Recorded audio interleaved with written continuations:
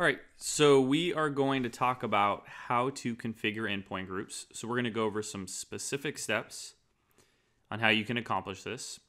So it's a four-step procedure. Uh, step one, you configure something called an application profile. Uh, the next step, step two, you configure something called an application EPG. Uh, step three, you will configure something called a static port.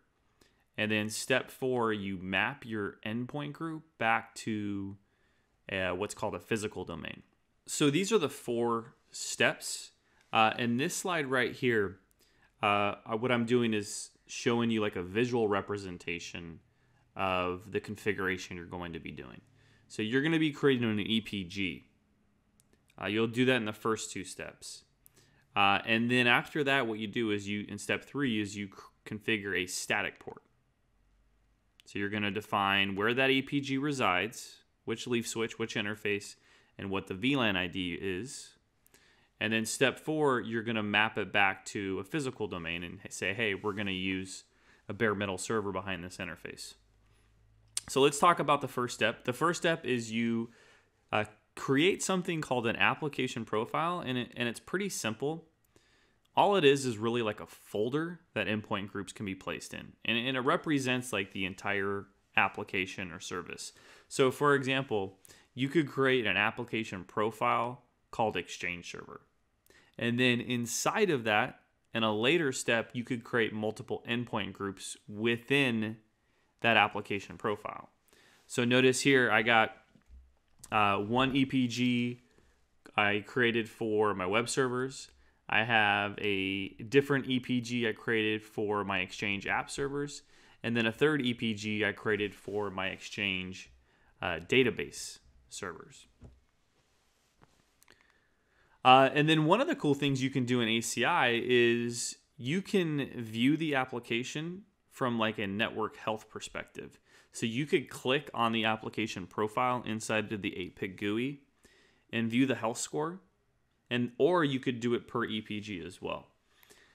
Uh, now you might want to. So this is one example of one application profile you can create for your Exchange server. Uh, you could create a different application profile. Maybe you're responsible for rolling out TechZone within Cisco. Uh, and again, to roll out that TechZone application, it's typically done in three tiers. So you create the application profile TechZone, and then within that application profile, you create three different EPGs one for web, one for application servers, and one for database servers. Uh, a different example of how you can use application profiles is uh, if you're using hypervisors, uh, you could create an application profile called ESXi. Now, hypervisors will usually have multiple layer 3 interfaces used for different th things. So, and those are called VM kernel interfaces.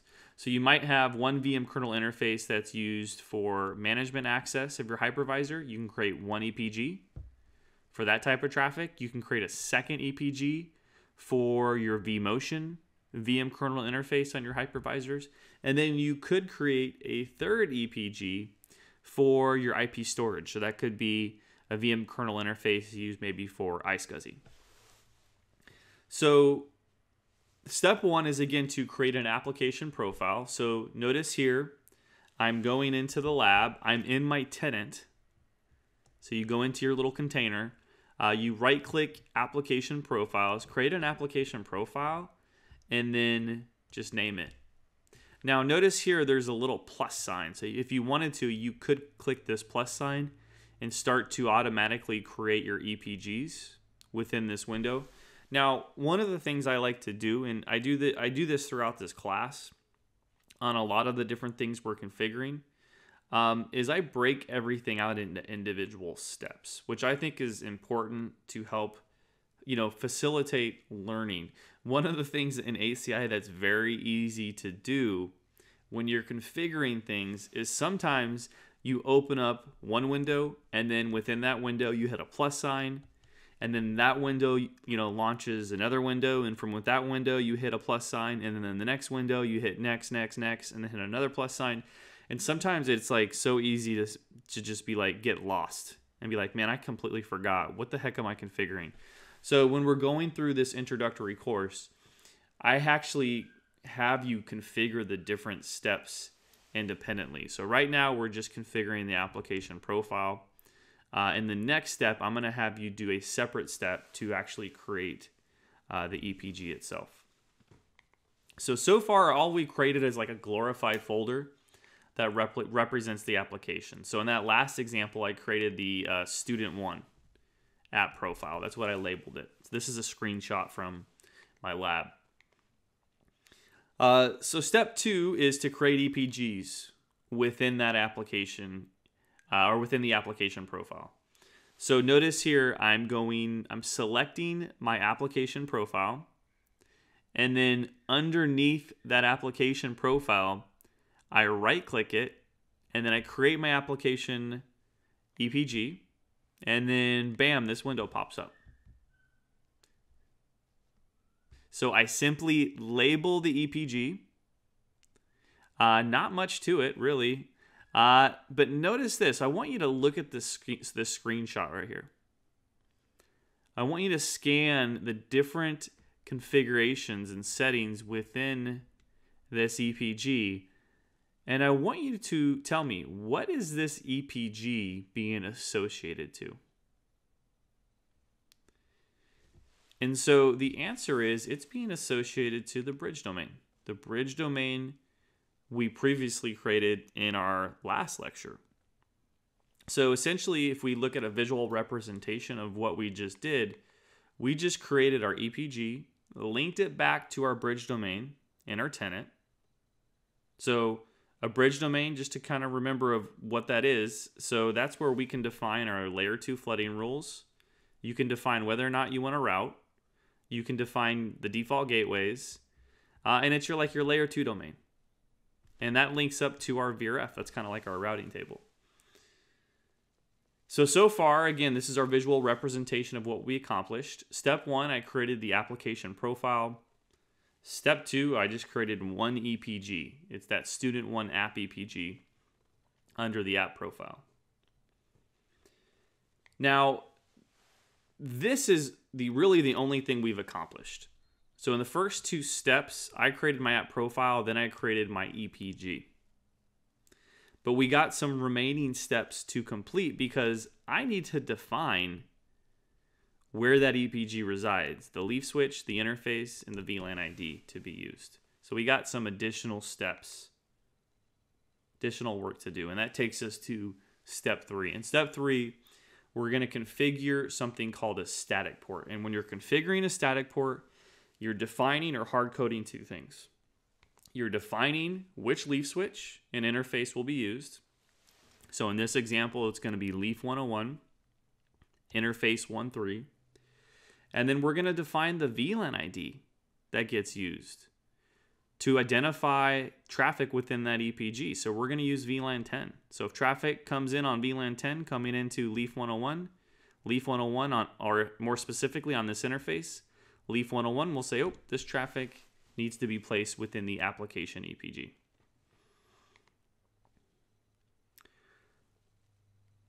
All right, so let's talk about why we need to define static ports uh, so we can kind of get your maybe help you get your head wrapped around it. Obviously, we need to define where the EPG is, but there's times in ACI where you do have to configure static ports, and there's times when you don't have to. So let's talk about the time that you do have to. So notice here I got Leaf 101. It has an interface going to a bare metal server. And notice here we have a quote from Leaf 101. Leaf 101 saying, I have no idea where this EPG should reside and what VLAN to use. I need the admin's help. Because ACI does not integrate with this bare metal server right here. So Leaf Switch 101 has no idea, you know, where this bare metal server resides and which EPG it should be placed into. Now, if you're integrating with VMware, it's different. If you're integrating with VMware, uh, it integrates with your vCenter server. And so I would like to say ACI will reach out to the hypervisor. Let's pretend this is a hypervisor instead. Uh, if you do that, what you can do is the, you configure things. You can, for example, configure what EPGs from the APIC. they'll get pushed out as port groups uh, on the hypervisor. So if you created the app EPG uh, on the APIC, that would get pushed out as the app port group.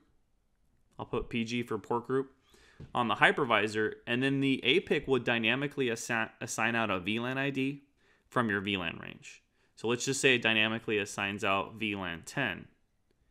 Well, the leaf switch, I think what they use here is the leaf switch will know there's a hypervisor on the other side of the wire. I think you can either I think you can either use LLDP or CDP, either one of those protocols. So the leaf knows that that hypervisor is on the other side of the wire and a port group just got pushed out to it with VLAN 10, so it can go ahead and program the VLAN on this interface. So it's a pretty slick technology when you're integrating with VMware because you don't have to, to, to necessarily define static ports. But if you have a bare metal server on the other side of the wire, you're not integrating with that bare metal server. So you got to define where that bare metal server resides. All right, so let's show you what step three looks like. So again, notice here, I'm now I'm in my EPG, I expand that out. And then I go under static ports, I right click it, uh, configure the static port, this window pops up. So I want you to look at this window. I'm again, I'm configuring a static port. I'm defining where the EPG resides. I want you to scan the contents of this screenshot and tell me what leaf switch and interface are we binding the EPG to? The answer is Leaf 101 interface 13. So Leaf 101 interface 13. Now I have another question for you about this screenshot. What about the VLAN ID? What is the VLAN ID we are using to identify traffic within the EPG on that port? VLAN ID is 10. And then my last question for you is again referencing the screenshot. Is the tra- is the traffic tagged or untagged on the wire when it's coming in or leaving port 13 for this EPG? The answer is it is an access port. So it is untagged. So this little config right here, I'm going to talk a little bit more about this right now. Uh, this is how you can tag or untag traffic on the wire. So I'll kind of go back and forth to this next slide just to kind of give you a visual. Uh, but what I'm doing here is, and if I'm selecting access, I'm essentially doing this.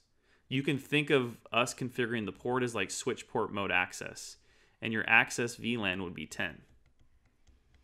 So that means if you're not tagging the traffic. So if the server sends traffic with no VLAN ID, it's going to come into the in- interface and be accepted as VLAN 10 because it's an access port. So that's what you you would typically configure go, configure going down to bare metal servers. Uh, if you were to select trunk,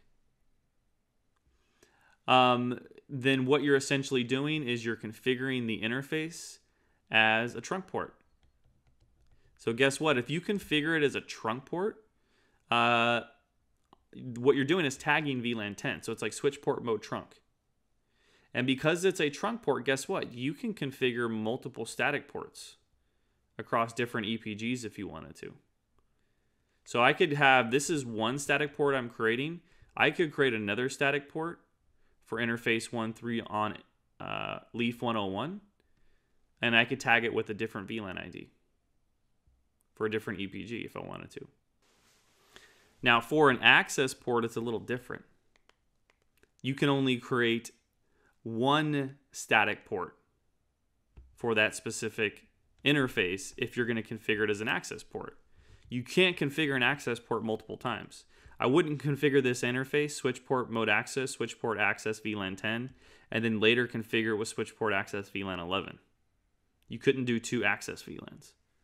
So if you select at mode access, you can only configure one static port. The traffic is untagged.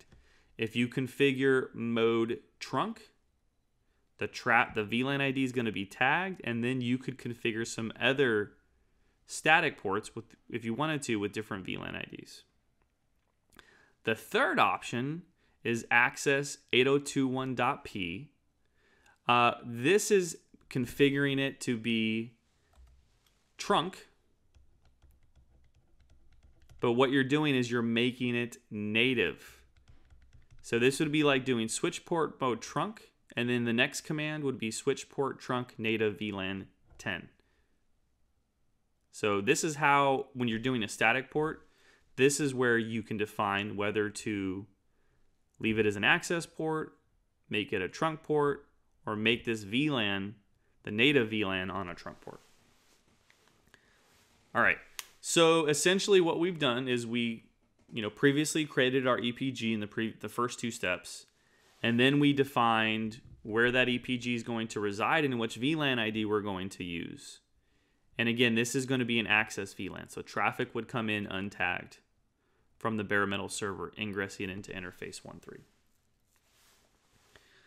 All right, so we talked about the first three steps. The, the fourth step sometimes takes a little while, I think, to get your head wrapped around why we're doing it.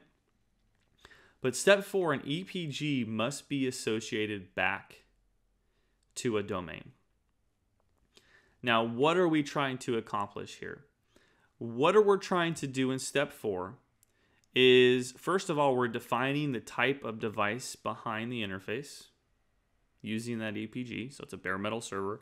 And then the second, I would say more important thing is we're validating our config. So essentially what we're doing is a validating this config right here within our tenant. We just created a static port under our EPG that said we, we wanted to use Leaf 101 interface 13 VLAN 10. We're mapping this back to a domain to validate it against our access policies. So we talked about access policies earlier. So essentially what you're doing is within your EPG, you're mapping it back to your chain of access policies and you're mapping it back to the domain.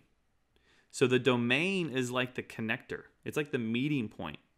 Uh, it connects your tenant config or your EPG config back to your access policies. And what we want to make sure, and there'll be more on this later, we'll talk about this in a lot more depth in our, I think, our next lecture.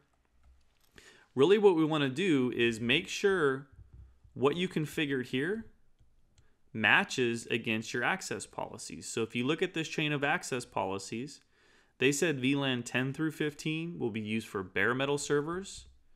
They can use interface 1.3, Leaf 101. And so we'll talk more about this kind of validation procedure a little bit later on and how you can troubleshoot this. Uh, so, so this is showing you example of step four. So again, I'm in my EPG. I go to domains. Uh, I'm going to select the physical domain because that's the type of domain you should have configured in your access policies earlier if you want to set up communication going to a bare metal server. So I select the correct domain and then I map back to the domain. So, what actually should happen now is after you set up your EPG, all these things we've been talking about earlier throughout this class should finally get pushed out to Leaf Switch 101 because we said, hey, we want to use this EPG on Leaf 101 and interface 1.3. So all those things we configured in our tenant earlier. So maybe we configured a default gateway, Maybe we configured a bridge domain. Maybe we configured a VRF. That all that configuration is finally going to get pushed out to Leaf 101. So notice here, none of it. Oh, this is before. So let me take a step back. This is before we did that EPG config. In this lecture, we took your EPG, we created it, we mapped it back to your bridge domain, and that bridge domain is mapped back to the VRF. So since we did all this work in this lecture, now all this configuration is going to be deployed out to Leaf 101. And the one example we're looking at here is I'm looking at the VRFs that were created on Leaf 101. Look at here, we now have the Student 1 VRF. We also should have any default gateways that are configured under your bridge domain should get pushed out to Leaf 101, assuming unicast routing is enabled on the bridge domain. Uh, so let's go back and look at the before. So again, the before did not have the student one VRF. And if you were to look at another switch, So if you were to run, if you were instead of running Fabric 101, if you ran Fabric 104, if there's like Leaf Switch 104, you wouldn't see that VRF get pushed out.